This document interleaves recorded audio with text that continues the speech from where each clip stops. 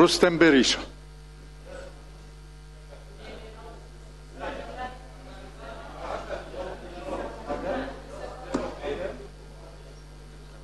Falënderit kryesus, të nderuar deputet, kabinet qeveritar,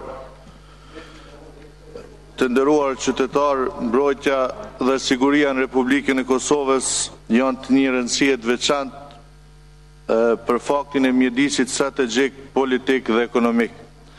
Besoj se ne të gjithë jemi dakord se Kosovës i duhet një qasje re në këtë sferë, një qasje më e fortë, një qasje më dinamike, një bashkëpunim më i mirë në mes të gjithë dikastereve të sektorit të sigurisë, Aleanca për Ardhmërinë e Kosovës si parti politike vazhdimisht është angazhuar që të zhvillojë, ndihmojë dhe mbështesë politikat shtetërore në fushën e mbrojtjes dhe sigurisë, andaj pyetja e ime për ministrin Haki Demolli është, zoti ministër, a ka mundësi të na informoni rreth transformimit të FSK-së në Ushtri të Kosovës edhe kur do ta kemë ligjin për forcat armatosura në Kuvend. Faleminderit.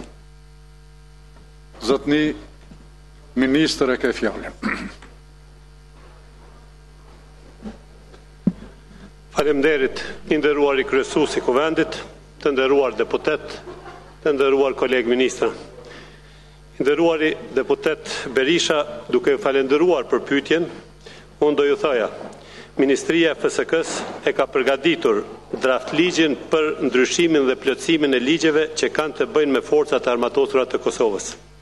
Dhe Ministria e Financave para disa ditësh për këtë ligj ka lëshuar deklaratën financiare, kurse Ministria për Integrime Europiane deklaratën për harmonizimin me legjislacionin e Bashkimit Europian.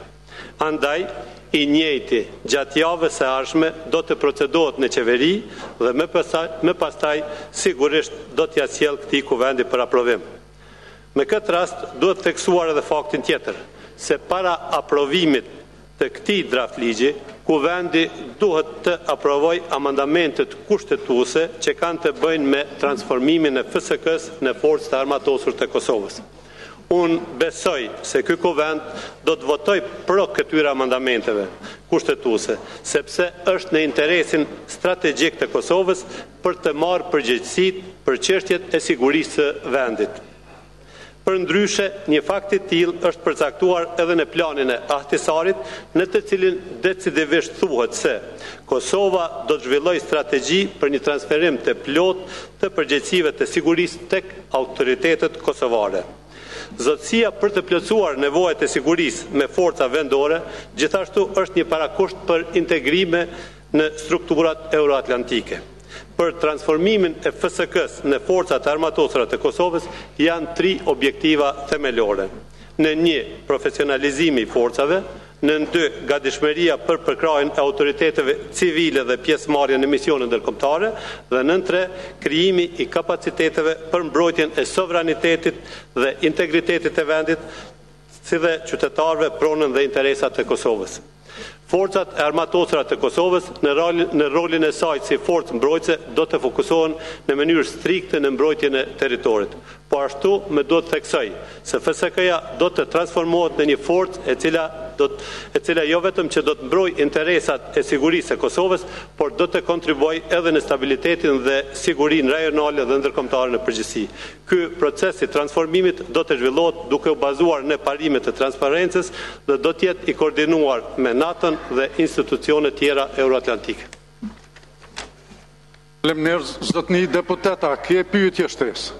Rustem Berisha. Po e kam edhe një pyetje, zoti ministër, dinamikat e transformimit të FSK-së në Forcat e Armatosura të Republikës së Kosovës a janë në përputhje me rekomandimet e rishikimit strategjik të sektorit të sigurisë? Faleminderit.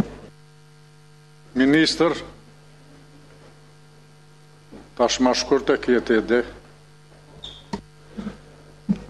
Kryesuesi po thotë ma shkurt, prandaj unë do të përgjigjem ma shkurt. Vërtet, procesi i transformimit të FSK-së në Forcë të Armatosur të Kosovës do të zgjasë në tri faza, apo do të zhvillohet në tri faza dhe pikërisht është në pajtim me sektorin e sigurisë, me rishqyrtimin e sektorit të sigurisë.